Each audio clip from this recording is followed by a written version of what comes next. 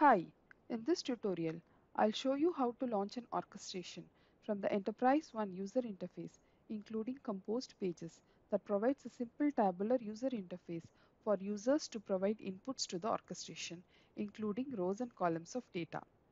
Rosie is a business analyst and she needs to create purchase orders without navigating to multiple applications or performing multiple steps. She wants a simplified user experience to complete the task so that she can focus on increasing customer satisfaction and sales. To perform the task in this tutorial, you must have completed these steps. Install JD Edwards Enterprise One Application Release 9.2 with Tools Release 9.2.6.4 or later. Enable the Composite Pages feature, View, Action and Content Security to associate an orchestration, created an automated business process and use it in Composite Page. This tutorial uses the JD Edwards Enterprise One demo data for the task. You can use other data available in your system to complete the task. For this tutorial, let's consider that an orchestration is created to add a new order in the purchase order entry application P4310 and an array input is defined as the input format for the item number field. Let's access the Composed Enterprise One page. From the Login Username drop-down menu, select Manage Content under the Personalization category and then Composed Pages. Now, let's use the Orchestration tile to access the Configure tile dialog box.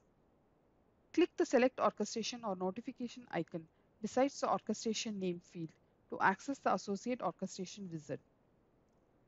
Let's select the respective default values for the input field. The default values defined in the Orchestration Studio are displayed in italic font.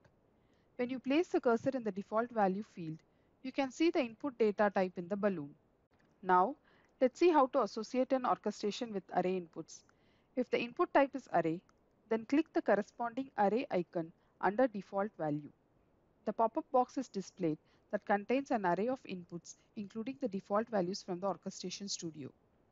You can modify, delete or add new rows. Save your changes in the table.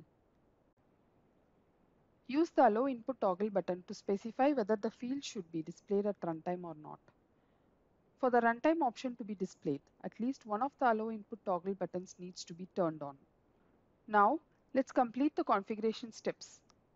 Enable the Run Synchronously toggle button to run the orchestration in the synchronous mode. Enable the Show Message toggle button to see the output message defined for the orchestration in the Orchestration Studio. Save your changes. Open the Composed Enterprise One page. Click the Quick Purchase Order tile that you configured in the previous task. In the Enter Input dialog box, enter or change the field values. If the input type is array, then click the corresponding Multiple Inputs button under Default Value in the Associate Orchestration window. A pop-up box is displayed that contains an array of input, including the default values. You can modify, delete, or add new rows. Save your changes in the table. The Enter Input dialog box should look like this. Click OK. An output message is displayed and an order has been created. For troubleshooting purpose, click the information icon to see the orchestration output in JSON format. So we have successfully provided array input for orchestration launched from the Enterprise One user interface. This completes the tutorial. To learn more about this feature, visit us at learnjde.com. Thanks for watching.